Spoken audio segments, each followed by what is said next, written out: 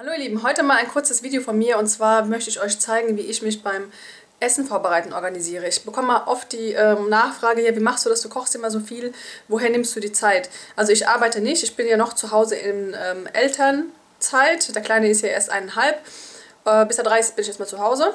Und ähm, das hilft mir schon mal, denke ich mal, auf jeden Fall viel mehr als Frauen, die ähm, jetzt arbeiten müssen. Aber trotzdem kann ich euch ein paar Tipps geben, wie ihr euch ähm, ja, ähm, organisieren könnt, um gesund zu kochen und ja um es einfach zeitlich immer zu schaffen. Ich mache das meistens so, dass ich sonntags schon mal sehr viel vorbereite.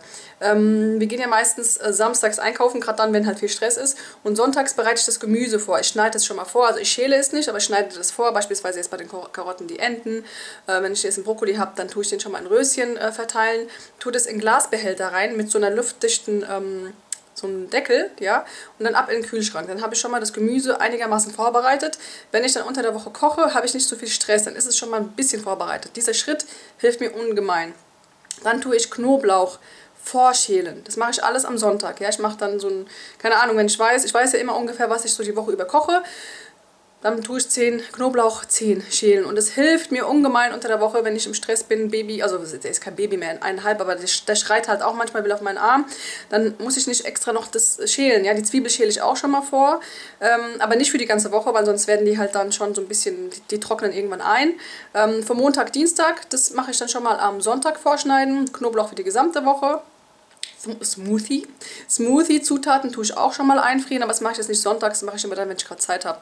Dann nehme ich halt Petersilie, das Grünzeug, was ich habe, Banane, tue das alles in so eine Tupper, ähm, Tupper, nein, in so einen Gefrierbeutel rein und ab in den äh, Kühlfach. Dann, wenn ich morgens Stress habe, mache ich es auf, einfach rein in den Mixer mit Wasser, mit was ich noch dazu haben möchte. Dann ist die Banane schon geschält, das Gemüse ist schon gewaschen und klein geschnitten und einfach rein in den Mixer. Hilft mir auch sehr. Äh, was mache ich noch? Genau, dann, wenn ich zum Beispiel weiß, was ich jetzt am Montag koche, dann schneide ich das Gemüse schon mal klein, schäle es, mariniere es, mache es in so eine Glasbox rein, ab in den Kühlschrank. Montags, wenn ich das weiß, ich habe Montag Stress, weil ich ein paar Termine habe mit den Kindern, ja, Kindergarten, Arzt, was auch immer, dann komme ich abends heim, ich muss dann nicht mehr viel machen, das Gemüse ist schon vorgeschnitten. Das kann ich über Dampf kochen lassen und in einem anderen Topf habe ich dann den Reis, da musst du ja auch nichts machen, einfach nur den Reis rein mit dem Wasser, dann kocht es und dafür habe ich vielleicht fünf Minuten gebraucht. Ähm, ich zeige euch mal das Gericht, das ist dann Gemüse mit Reis. Und dafür habe ich fünf Minuten gebraucht, aber weil ich die Vorarbeit schon geleistet habe. Okay? Ähm, du kannst dich organisieren. Hört sich jetzt vielleicht so an, oh mein Gott, da muss ich den ganzen Sonntag da rumschnippeln, aber es nimmt wirklich nicht viel Zeit, es macht Spaß, mach dir die Musik an, die Kinder sollen mit dir in die Küche, wenn du Kinder hast. Ähm, die können dir helfen, die können dir dabei zuschauen, weil meistens ist es ja sehr stressig, wenn man kleine Kinder hat, weil die halt spielen wollen, weil die raus wollen und du musst aber noch in die Küche, du hast noch die Wäsche. Ich beziehe die oft mit ein, die Kinder. Ja, ich erzähle ihnen Geschichten über die Karotte, ähm, hängt die, äh, wächst die an den Bäumen in Madagaskar oder kommt die aus der Erde in Deutschland. Solche Geschichten helfen den Kindern ähm, mitzumachen, Spaß zu haben. Dann ist es im Nu alles zubereitet, alles schon mal vorbereitet und im Kühlschrank. Die Glasboxen habe ich bei mir aus dem Einkaufszentrum im Ort. Ich kann noch mal suchen, ob ich es finde im Internet. Ansonsten tue ich euch das unten verlinken, wenn ich die finde. Ich finde die perfekt. Äh, es hat kein Plastik. Der Deckel ist zwar Plastik, aber es ist ja alles im Glasbehälter unten drin.